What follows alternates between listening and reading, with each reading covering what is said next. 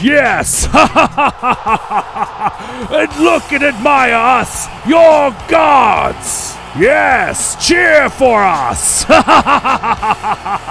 we are your gods here to deliver you from your miserable existence! Yeah!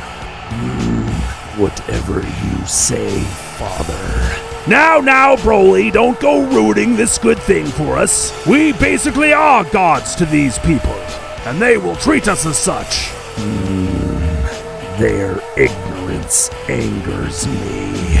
Now, now, now, now, Broly, calm down, my son. Listen, if we can gather enough materials and technology, perhaps we can get off this rock.